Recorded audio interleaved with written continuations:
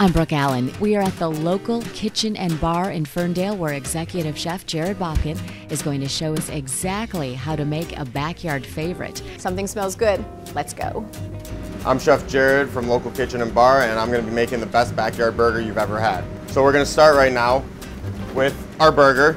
It's short rib, brisket, and chuck, and I mean, home cooks, you guys can get this. All you gotta do is ask your meat guy for it. Just salt from a distance, like you're feeding chickens, right? I don't know if any of you have fed chickens before, but these buns are special made for us by a local bakery, you know, keeping with the local theme. And it's a nice brioche bun. The problem with burgers is everybody gets soggy burgers. All you have to do is toast it. What we have here is a charred onion aioli. Aioli is just a fancy name for mayo. We char onions, we dehydrate them, we grind them up, and we mix it in with the mayo we make here. I'm gonna take an egg. It's, this is a hot skillet. Give it a little bit of salt and literally let it hang out. It'll cook, don't worry, it'll take its time. So now I'm gonna build my burger. Lettuce down first. It holds everything together. It provides our pickled tomato a place to rest, it's like a little bed. And then you're gonna put the burger on top of that so when you take that bite of the burger, that lettuce isn't gonna be going slip sliding all over the place. So now we just flip our burger and you see we have the nice cross hatches, right? When you start seeing pools on top of the burger, that's when we, if you want it medium rare, you pull it off in like one minute. If you want it longer, you just wait till those pools start dissipating. And that's, I mean, that's how you temp a burger. You don't need to keep poking. You don't need to take your spatula and dig into it. I mean, because that's just like, you're, you're leaching out all the liquid. Like, what, what, what good is that? You might as well eat a piece of shoe leather. Our candied bacon. And we just sprinkle it on. And weird, the aioli holds the candied bacon there.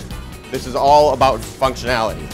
So if you look at the burger, you can start to see that right in the center, you're getting that those red pools. You take your piece of cheese, lay it over the top. So this burger's done, right? And what you want to do is you want to let it just hang out for a minute because the excess will drip off. You take your burger, you slide it right on top. And while we're waiting for that, you're just going to make sure that your egg can move, right? And since I want to speed it up, I'm going to take a little knob of butter and I'm going to baste it. You could do this with steaks. You could do this with fish. You could do it with anything. Egg, set it right on top of the burger.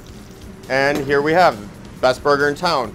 Egg, pickled tomato, hydro Bibb lettuce, candied bacon that's made with just brown sugar and butter, charred onion aioli on a brioche bun. But before that first bite, we get one last bit of advice from our celebrity chef. You don't crush it. That's the most important thing. Do not crush it until you're ready to cut it.